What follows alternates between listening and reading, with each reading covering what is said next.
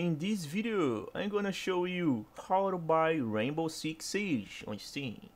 It's a very easy process, so make sure to follow my steps.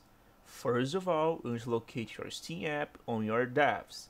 After doing that, you'll be able to, you can just click to open the app. So, after you open the Steam app, you'll be able to check the Steam homepage right here, and you can see and change everything you want in Steam. You can check store, library, community, and much more. But we just want to know how to buy Rainbow Six Siege here.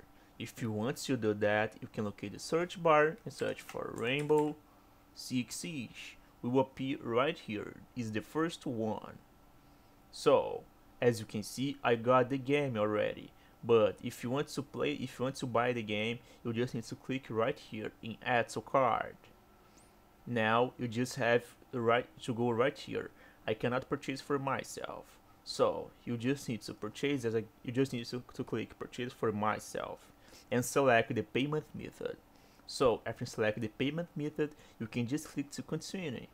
And after making the payment method, the game will be in your library right here. So if you go to your library and you can locate the game, in my case this one right here, you'll be able to see the game page here. And you can see all the informations about the game. So you the game will appear as this one with the install button here. So you have to download the game. After the download of the game, the play button as mine will appear right will appear on the game page right here and you can start playing the game. So until the moment I'm recording this video, that's the only way to do that. That's how it works.